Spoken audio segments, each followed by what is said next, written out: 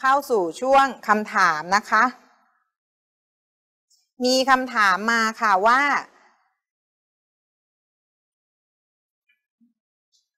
หากเป็นหากจะให้วิทยากรให้คำปรึกษาเรื่อง IoT เพื่อยกระดับฟาร์มเป็นสมาร์ทฟาร์มจะเริ่มต้นอย่างไรได้บ้าง มีข้อจำกัดหรือไม่ แล้วหากต้องดำเนินธุรกิจให้สำเร็จตามวัตถุประสงค์นี้ต้องทำอย่างไรค่ะ ท่านใดจะตอบดีคะ ไม่ต้องแย่งกันค่ะ เดี๋ยวให้เชิญนักวิชาการก่อนละกันโอเคครับ ก็คำว่าเริ่มต้นยังไงใช่ไหมครับ อันดับแรกเนี่ยคือผมอยากมองว่าไอตัวเทคโนโลยีเนี่ยมันเข้าไปช่วยช่วยแก้ปัญหานะครับ เข้าไปช่วยนะครับเข้าไปช่วย ซึ่งหมายความว่าอันดับแรกก็คือว่าเราต้องรู้ก่อนว่าปัญหามันคืออะไรในฟาร์มของท่าน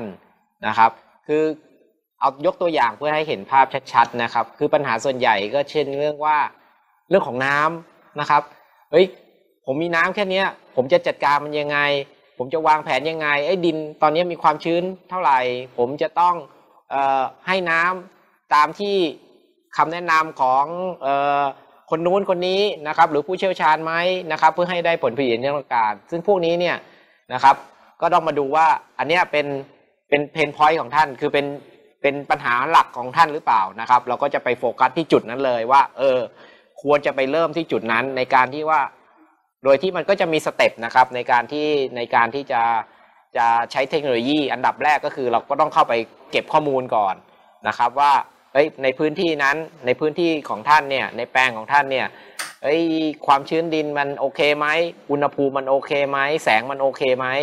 นะครับเพื่อจะให้ได้ข้อมูลพื้นฐานก่อนนะครับ จากนั้นเนี่ยเราค่อยเอาเทคโนโลยีเข้าไปใส่ เช่นอ้าวถ้าเกิดว่า บอกว่าไอ้แปลงตรงนี้เนี่ยอุณหภูมิสูงไปจะทำยังไงจะให้มันลดลงได้อย่างไร อาจจะใช้การสเปรย์น้ำช่วยนะครับ หรือว่าเอ้ยไอตอนเนี้ยความชื้นที่คุณให้เนี่ยสมมุติว่าลดน้ำเวลาสามรอบอย่างเงี้ย มันเกินไปนะมันไม่จำเป็นต้องลดน้ำขนาดอาจจะลดลดจำนวนเวลาลดน้ำได้นะครับ เพื่อที่จะได้ประหยัดไอ้พวกทรัพยากร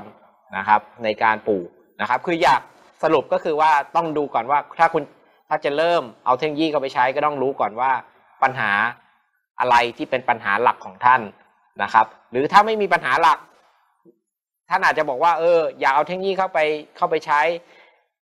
เพื่อที่จะใช้ในการเก็บข้อมูลพื้นฐานในแปลง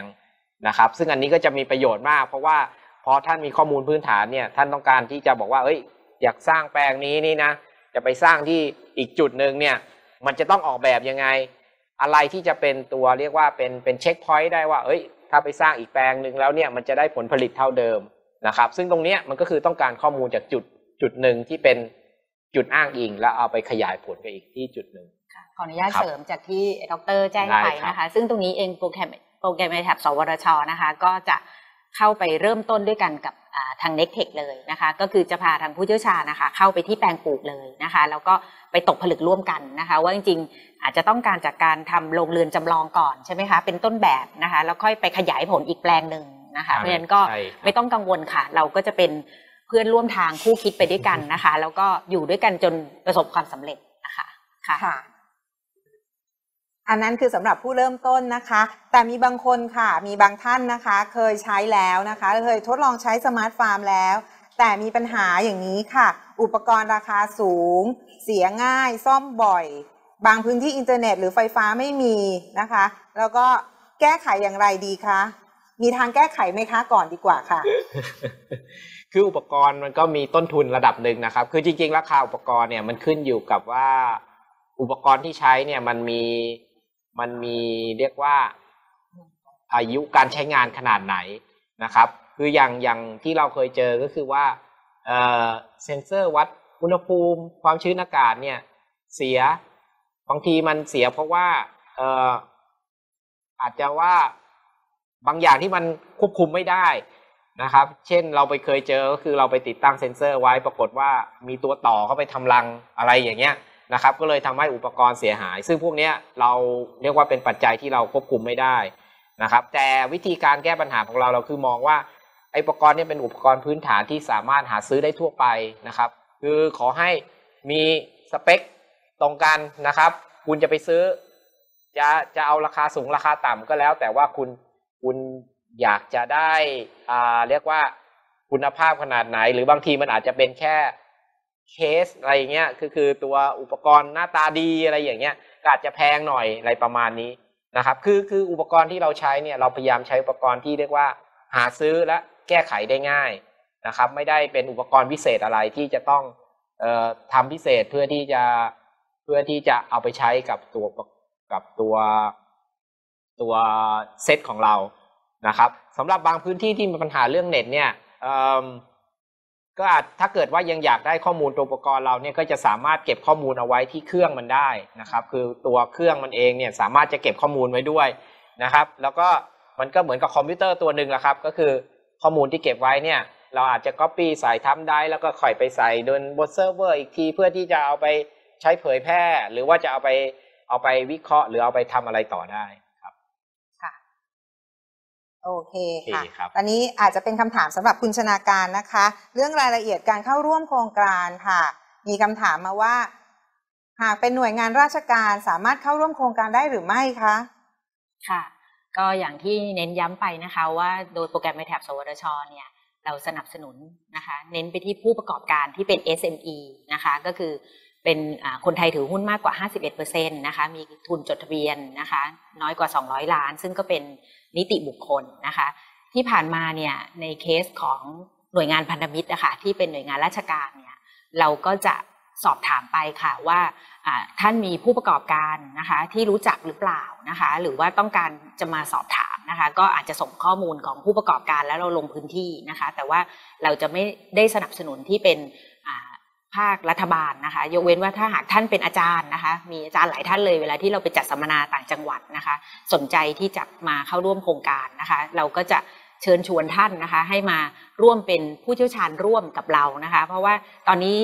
สิ่งหนึ่งที่เราขาดก็คือผู้เชี่ยวชาญที่อยู่ในท้องที่ต่างๆนะคะ เพราะฉะนั้นหากท่านเป็นหน่วยงานราชการหรือว่าเป็นอาจารย์นะคะ เป็นนักวิชาการแล้ว อยากจะเข้ามามีส่วนร่วมในโครงการดิฉันขออนุญาตเรียนเชิญมาเป็น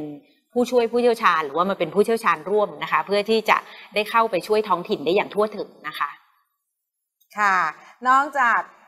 ประเภทของหน่วยงานนะคะ ที่จะเข้าร่วมโครงการแล้วค่ะข้อจำกัดเนี่ยก็คือว่าพื้นที่นะคะ พื้นที่ของพื้นที่กี่ไร่ที่จะผ่านเกณฑ์ปลูกพืชอะไรถึงจะไม่ผ่านเกณฑ์มีเกณฑ์ตรงนี้ไหมคะ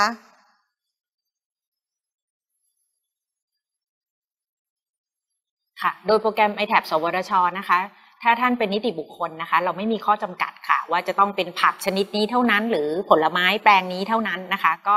อย่างที่บอกนะคะ เราเริ่มต้นจากการที่ไปกับทางอาจารย์ก่อนนะคะ แล้วก็ไปเยี่ยมชมแปลงด้วยกันนะคะ แล้วก็ ไปดูด้วยกันเลยค่ะ บางท่านบอกว่าเอ่อมีแปลงกล้วยหอมอยู่แล้วนะคะ อยากจะทำกล้วยหอมที่อยู่ในแปลงปิดนะคะ แล้วก็ควบคุมง่ายๆ สั่งการได้ทางอินเทอร์เน็ต แล้วก็เป็นแปลงพิเศษที่จะเป็นกล้วยหอมพรีมิพรีเมียมส่งไปญี่ปุ่นหรือออสเตรเลียเท่านั้นอะไรอย่างเงี้ยนะคะ ก็เพราะฉะนั้นตอนนี้เราไม่ได้จำกัดชนิดผลไม้นะคะ แล้วก็ไม่ได้จำกัดพื้นที่แปลงปลูกนะคะ ก็ยินดีต้อนรับทุกท่านนะคะ เข้าสู่โครงการค่ะดรค่ะไปกับเราทุกที่ใช่ไหมคะไว้ได้ครับโอเคดีค่ะครับค่ะ ก็เสร็จแล้วนะคะคือถ้าท่านสมัครโครงการมาแล้วเรียบร้อยนะคะ ทางทีมของ i t a b คุณชนาการนะคะ ก็จะไปร่วมกับนักวิจัยนะคะ เข้าไปดูนะคะว่าจะต้องสมควรจะใช้อะไรนะคะ ประเมินประเมินความต้องการนะคะของแต่ละฟาร์มนะคะ แล้วก็หลังจากนั้นก็จะมาเป็นราคางบประมาณนะคะ แล้วค่อยมาคุยกันทีหลังนะคะ เข้าไปดูก่อนว่าควรใช้อะไรบ้าง สุดท้ายนี้นะคะถ้าให้ทั้งสองรบกวนให้ทั้งสองท่านนะคะ ฝากนะคะ ให้กับท่านผู้ฟังร่วมฟังสัมมนาทางบ้าน สักเล็กน้อยค่ะ เรียนเชิญค่ะ ครับก็นะครับสำหรับท่านที่สนใจเรื่องของการใช้เทคโนโลยีนะครับ เพื่อช่วยในการทางการจัดการฟาร์มอะไรพวกนี้นะครับ ก็สามารถที่จะเข้ามาปรึกษาเราได้นะครับ บางท่านอาจจะติดใจคำถามเรื่องต้นทุนนะครับ ว่าเอ้ยโหอุปกรณ์ขนาดนี้ราคาเท่าไหร่ เราก็บอกว่า คือราคาเนี่ยอย่างที่ผมบอกนะครับ ว่ามันอาจจะไม่สามารถคืนทุนได้นะครับ แต่ผมบอกราคาคร่าวๆแล้วกันนะครับ ก็ถ้าชุดเล็กก็อาจจะเท่ากับรถมอเตอร์ไซค์สักคันหนึ่งนะครับ แต่ถ้าคุณอยากได้แบบเป็น full option นะครับก็อาจจะต้องเป็นราคาบิ๊กไบค์อะไรประมาณนี้นะครับ ก็พอจะเห็นภาพใช่ไหมครับว่าเออต้นทุนมันคือคืออุปกรณ์ค่าค่าของเนี่ยก็คือขึ้นอยู่กับจำนวนอุปกรณ์ที่ที่ที่นำไปใช้หรือนำไปใช้ เรียกว่าติดตั้งเก็บข้อมูลแสดงผลอะไรประมาณค่ะ ก็เป็นที่ทราบนะคะว่าตอนนี้ทุกคนก็อาจจะรายได้ลดลงนะคะ จากสถานการณ์โรคระบาดโควิด -19 นะคะแล้วก็ยังมีค่าใช้จ่ายที่ยังจะต้องมีอยู่แล้วประจำทุกวันนะคะ แต่ว่าก็อยากจะฝากไว้นะคะว่าคำว่าวิทยาศาสตร์เทคโนโลยีนวัตกรรมเนี่ยจริง ๆ ก็ยังจำเป็นนะคะสำหรับการที่จะนำไว้สำหรับในการสร้างความเข้มแข็งให้กับธุรกิจของท่านนะคะ หรือว่า เพิ่มศักยภาพนะคะเพื่อที่จะยังยืนหยัดได้ในตลาดนะคะทั้งในและก็ต่างประเทศนะคะ ก็สำหรับโปรแกรม i t a b เองก็ยินดีสนับสนุนนะคะสำหรับค่าใช้จ่ายไม่ว่าจะเป็นค่าตอบแทนผู้เชี่ยวชาญนะคะ หรือว่าชุดคิดที่เป็นชุดทดลองนะคะ ที่ใช้ในโครงการนะคะ ในบางส่วนเพราะฉะนั้นการพบกันในวันแรกหลังจากที่ท่านสมัครอะค่ะ เราก็จะได้ไปเห็นภาพคร่าวๆนะคะ ว่าแปลงปลูกท่านอยู่ที่ไหนต้องการจะผลิตอะไรนะคะ แล้วก็มีค่าใช้จ่ายอะไรบ้าง ยังไงก็เรายินดีให้การสนับสนุนและบริการค่ะ ค่ะ ขอขอบพระคุณวิทยากรทั้งสองท่านค่ะ ดรโอภาสตรีทวีศักดิ์ ศูนย์เทคโนโลยีอิเล็กทรอนิกส์และคอมพิวเตอร์แห่งชาติ NECTEC สวทช และคุณชนาการ สัตยานนท์ที่ปรึกษาอาวุโส โปรแกรม iTAP สวทช และก็ต้องขอขอบพระคุณนะคะ ท่านผู้ร่วมงานสัมมนาวันนี้ทุกท่านนะคะเขาว่ากันว่าอุตสาหกรรมเกษตรนะคะ บาดเจ็บนะคะ ได้รับผลกระทบ น้อยกว่าอุตสาหกรรมอื่นในช่วงสภาวะโควิดนี้ แต่จะปรับตัวให้เข้ากับ New Normal ได้ยากและช้ากว่าอุตสาหกรรมอื่น สวทช ไม่เชื่อเรื่องนี้นะคะ เรามีเทคโนโลยีหลายตัวนะคะ ที่เกษตรกรนะคะ สามารถจับต้องได้ และเราไม่ให้ท่านเดินทาง ใช้เทคโนโลยีและนวัตกรรมเหล่านั้นเพียงลำพังค่ะ ยังมี iTab นะคะ ร่วมนะคะเข้าไปเป็นพี่เลี้ยงให้ท่านตั้งแต่วิเคราะห์ปัญหาานักวิจัยเข้าไปดูนะคะ แล้วก็ให้คำปรึกษาและสนับสนุนงบประมาณ ในการนำเทคโนโลยีและนวัตกรรม ไปเพิ่มผลผลิตให้กับธุรกิจของท่านค่ะ ติดตามความรู้นะคะ แล้วก็งานสัมมนาดี ๆ อย่างนี้ได้กันใหม่ในโอกาสหน้าสำหรับวันนี้ขอขอบคุณสำหรับการติดตาม สวัสดีค่ะ